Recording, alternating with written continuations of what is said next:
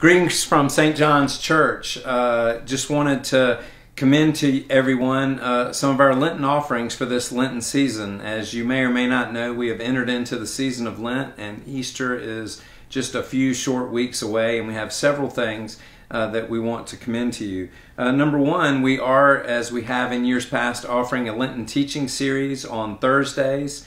Uh, that will begin on Thursdays at 11 a.m. with worship in our chapel, followed by a teaching time at 11:30. We have great teachers from around the diocese that are going to be with us for the next five Thursdays, starting on February 25th through Thursday, March 25th. So please join us for our Lenten teaching series. We're hoping to video those and have them online as well.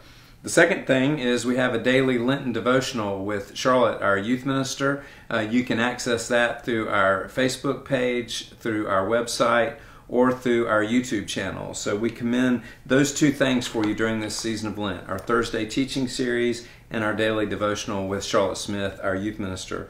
And finally, just want to remind everyone that Sunday worship, we have lots of opportunities. We have 8 and 10 a.m. online, and we'll continue to have that. But we also have live in person worship at 9 a.m. outside in the pavilion in the back and 11 a.m. worship in our historic sanctuary. So, would love to invite you if you haven't come back to join us in person for worship yet. Lent would be a great time to do that. We certainly understand that everybody's not quite ready yet, and we don't want you to do anything that you're not comfortable with. So, we'll continue to provide as many opportunities as we can for people who are in different places. But we miss you and uh, we love you, and we hope to see you uh, during this season of Lent so we all might greet our Lord's resurrection together on Easter Sunday.